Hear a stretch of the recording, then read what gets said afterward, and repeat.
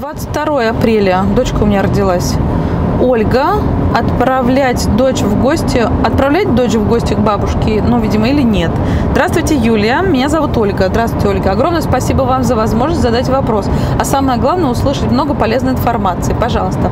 Здоровья вам и вашим близким, процветания вашей деятельности. Огромное спасибо, низкий поклон и вам здоровья и крепкой семьи. Нашей доченьке 2,8, роды Кесарева, воды были зеленые, переходила неделю. Показаний Кесарева не было, плод мало шевелился перед родами, ждать уже времени не было. По здоровью все хорошо, носим очки, ходим в сад с двух лет, с октября.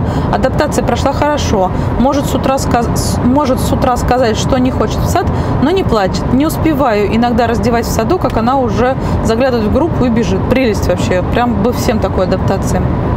До этого ходили в развивающий центр. А, ну, потому что была как бы дополнительная подготовка, да, да. Примерно с года. Четыре месяца потом был перерыв, так как группу закрыли. Мы ушли в другой центр. Дочка много всего знает. Цвета, формы, четвертый лишний и прочее. Считай в пределах пяти. Любит книжки, рассказывает небольшие стихи наизусть. Ходим на спектакли в кукольный театр, зоопарк, детский развивающий центр, где она прыгает на батуте, лазает по лабиринтам и так далее. Я с ней стараюсь заниматься. Она и сама просит, пойдем заниматься. И тянет мне за руку. Правда, с выходом на работу времени не хватает. Ну, все нормально. Но я все бросаю и иду с ней. Характер упрямый, в папу, естественно, да, по-другому не может быть.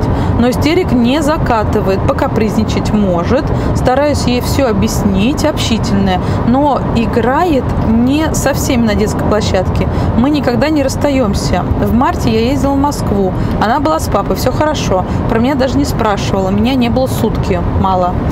Больше мы никогда не разлучались с ней. Садик закрывается на июнь месяц, а мы работаем. Бабушка с дедушкой, мы родители, просит привезти внучку к ним на лето, на июнь, в деревню. Живут они 500 километров от нашего города, далеко. Если мы отвезем, то приезжать на выходные не сможем. Получается, я приеду только после 20 числа и останусь до конца лета с ней там. Вопрос заключается в том, не будет ли для ребенка травмы такая долгая разлука. Вообще никто не знает. Вообще. Но, судя по тому, что легко вас отпускает, можно только предположить, да, так предположение сделать, что легко прошла адаптация, легко вас отпускает, с папой остается, можно предположить, что и здесь будет все гладко. Но это предположение. А там да, даже ребенок сам не знает, как он среагирует. Может, как у меня, да, депрессуха. Меня после колледжа на месяц отправили э, в Пушкинский район, в детский сад, вот выездной детский сад. И, и я стрессоустойчивый человек, я этот э, интроверт, которому компания не нужна, по бабушке особо не скучала. У меня через три недели реально истерика началась, чего я от себя не ожидала. Это слезы, и реально я хотела домой. Я настолько истерила, что меня отпустили домой, и я поехала раньше времени не доработав практику. Бог знает, я от себя не ожидал. Я думала, сейчас ура, ура, наконец-то я из дома вырвалась. Месяц, месяц, одна себе предоставлена. 18-летняя. Вот и тебе. Истерика началась. Не отложится ли у дочки, что ее бросили. Если будете по скайпу, по WhatsApp где там видеосвязь, возможно, общаться каждый день, я думаю, что нет. Передавайте привет, говорит, как я тебя люблю. Она вам будет рассказывать, а я сегодня кур кормила, там от гусей убегала, тут морковку дергала. И вы будете всем этим интересоваться, что она в течение дня делала. Я думаю, что нет не отловит так, не будет ли в будущем деревня ассоциироваться с местом, где ее оставят. Если там будет хорошо, не будут бабушки, дедушки воспитывать, ничего неприятного не произойдет. Всякое может быть. Там может быть хлобыснуться с горки, получить какой-нибудь э, шрам, да, не дай бог. И просто вот деревня ассоциируется вот с этим вот в голове у ребенка.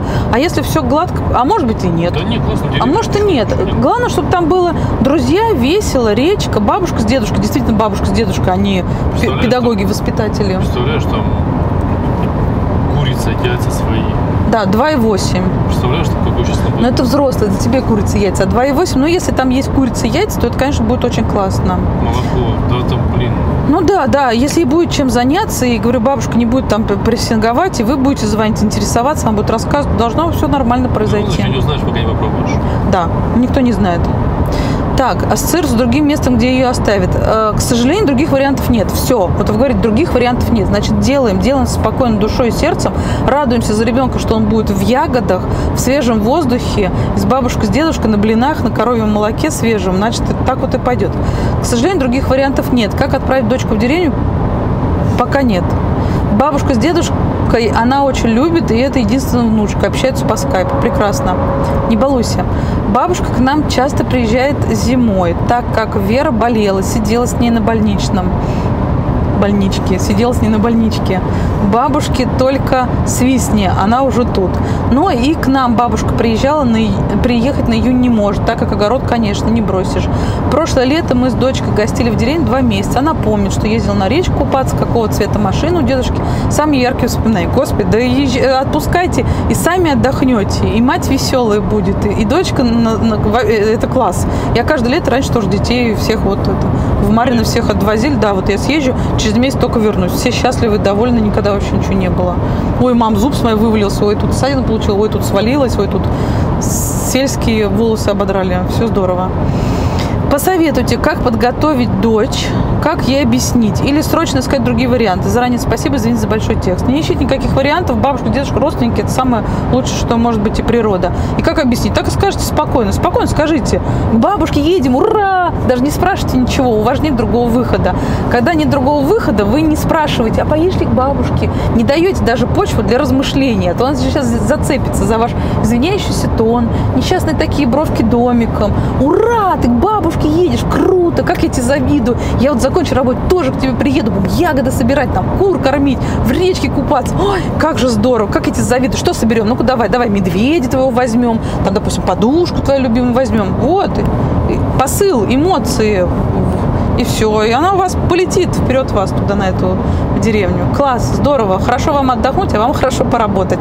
22 апреля у меня в этот день дочка родилась. Ольга, ответили.